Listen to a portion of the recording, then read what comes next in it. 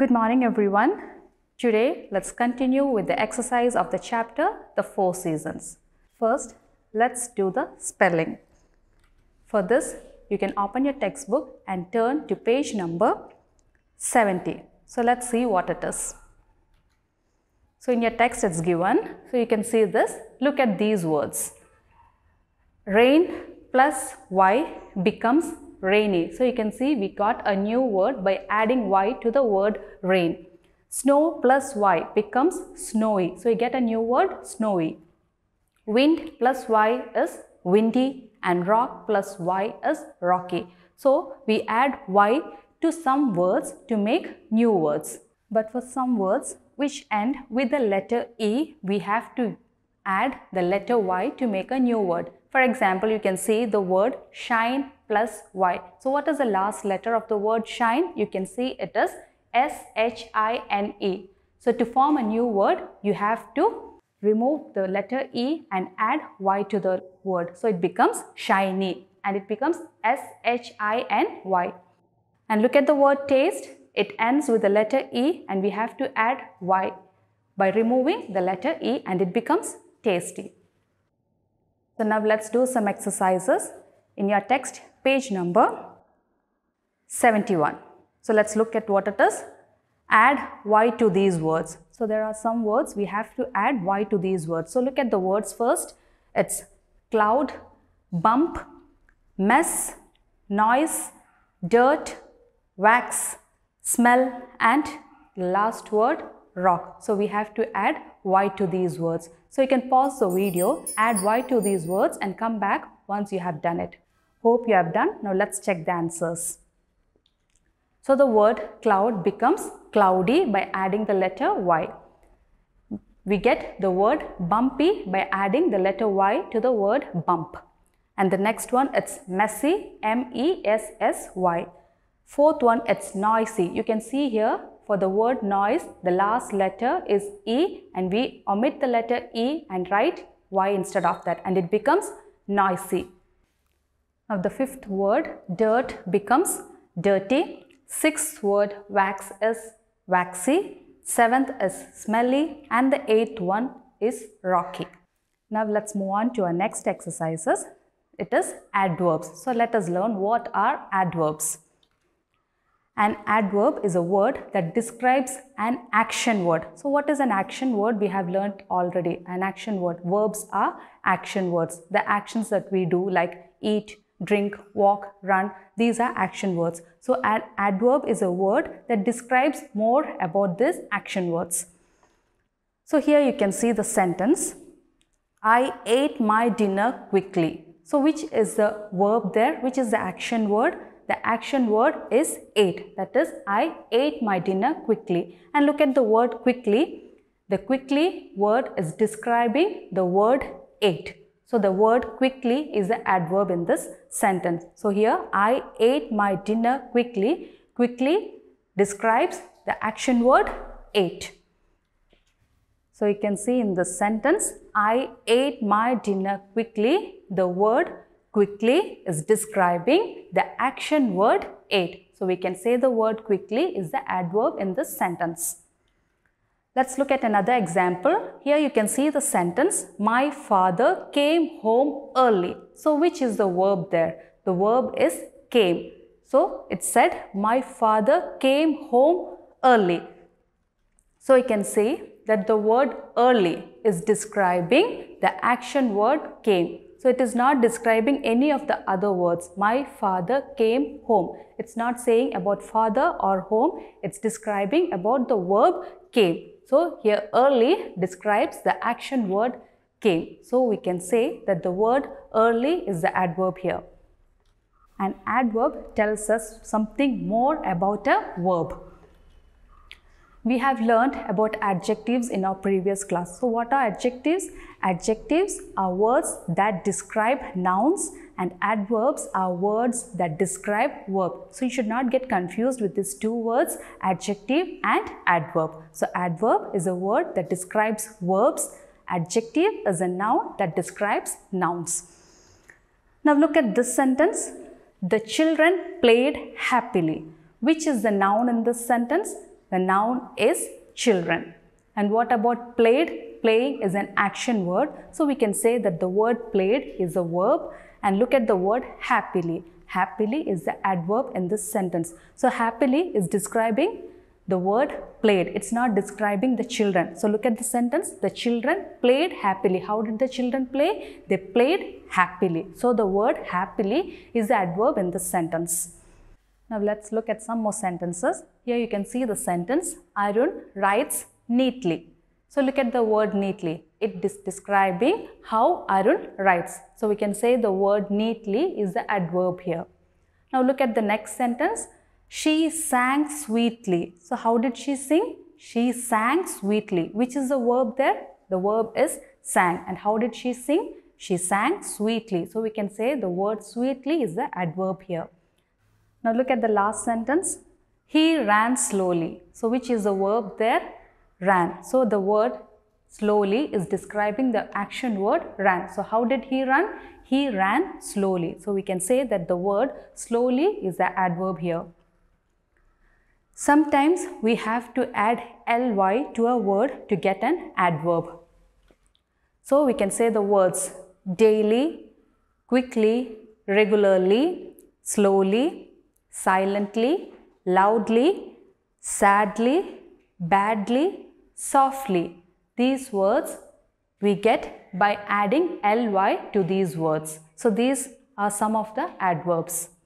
For a word which ends with the letter y, when we add ly, we have to omit the word y and instead we have to use i ly. So look at the word busily. The word is B-U-S-Y. So when it becomes an adverb, you have to omit the letter Y and it becomes B-U-S-I-L-Y. Look at the word happy. It ends with the letter Y and when it becomes happily, we add I to it. So it becomes H-A-P-P-I-L-Y. And look at the word easy. It also ends with the letter Y. It becomes easily we omit the letter Y and instead add the letter I.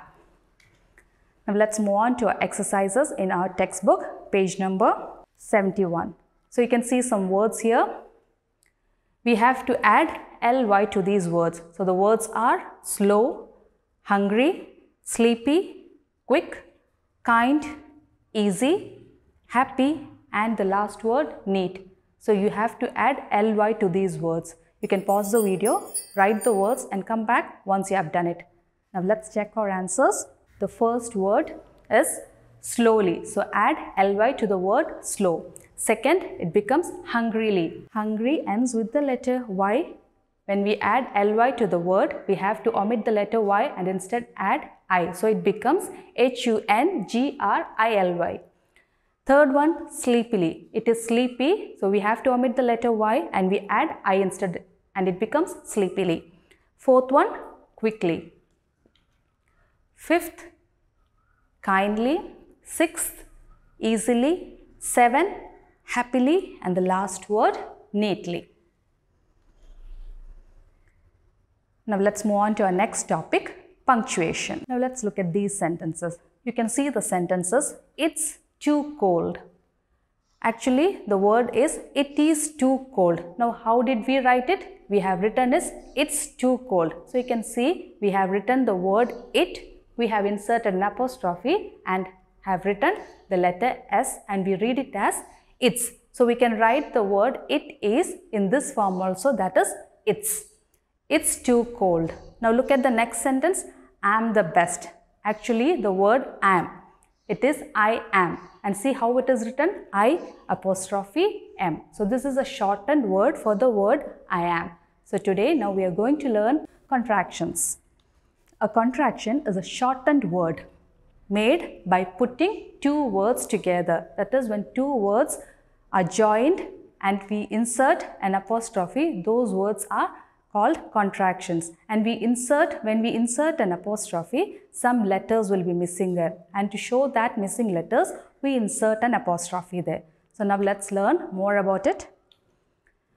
So look at the word you are. These are two words you are and when we join these words it becomes you are. Now what has happened is you apostrophe R. You can see the letter A is missing there. So we insert an apostrophe there to show that the letter A is missing there and we read this as you are. So the apostrophe shows where one or more letters are has been taken out.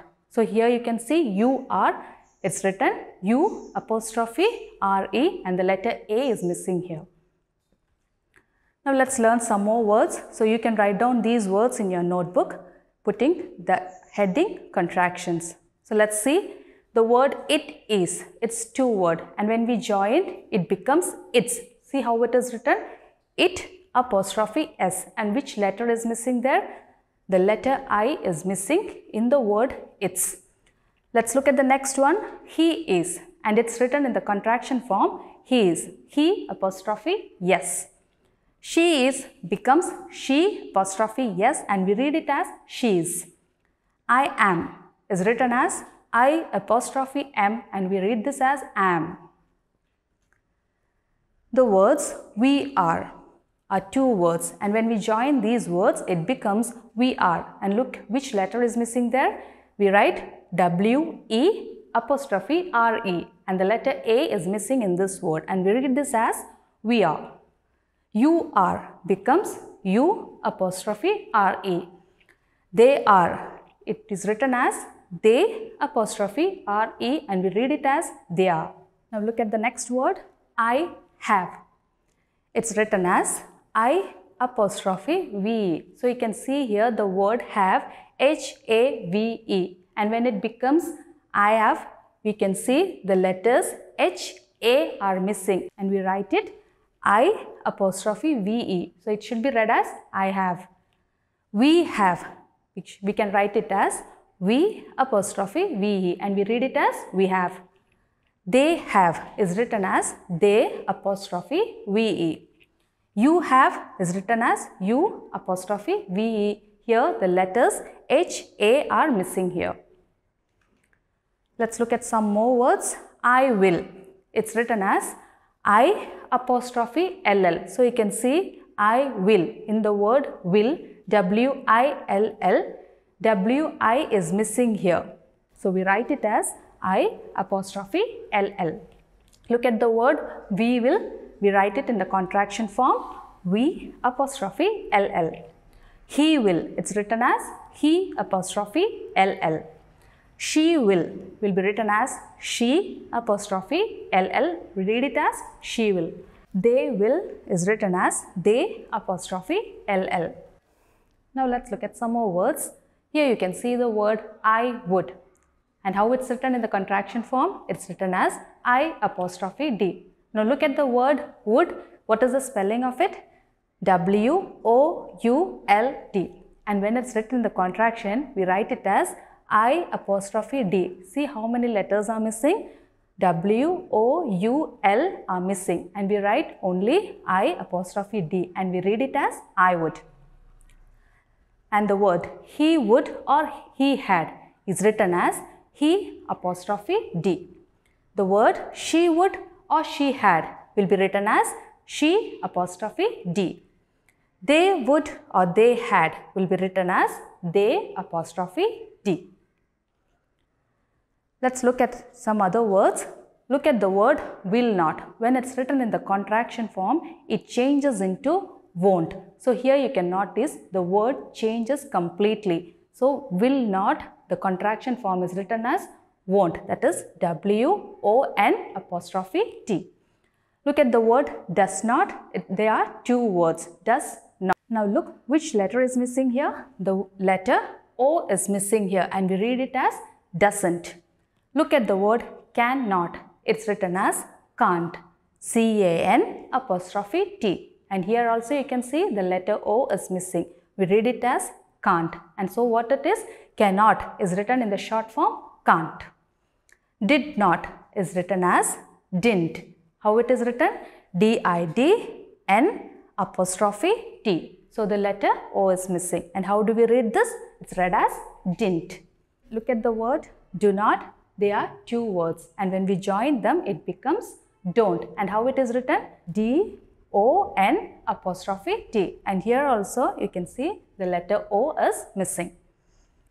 Now let's do some exercises. You can open your text page number 72. So you can see the exercise here.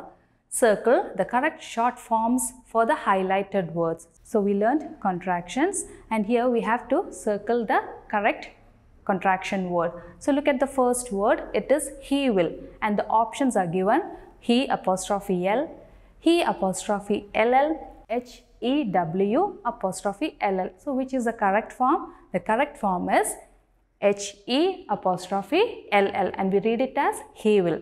Likewise, you can complete all the exercises. This is homework for you to do. So what are the words given there? We are, will not, she is, cannot, they would. So this is homework. Once again, I repeat all the contraction words you can write down in your notebook. Let's move on to our next topic. It is writing. So you can see in your text page number 73. It's a poem given. Now let's see what we have to do. Complete this poem with the correct rhyming words. Use the words given in the box. So we have to complete a poem. A poem is given and some help words are given and we have to complete this poem using these words. And how should we complete? We have to do it with the rhyming words. Now what are rhyming words? Rhyming words are words that end with the same sound, right? Now let's look at the poem. It's given in page number 73. So the poem is Earth Day Mix-Up. Let's read that. I was telling my friend all about Earth Day. She heard me wrong and thought I said dash. She said she would rush down to the mall and buy a dollhouse or a dash. I said she shouldn't buy all that stuff. The landfills are full of trash dash. Then she knew that she would make a mistake and said she would make a birthday dash.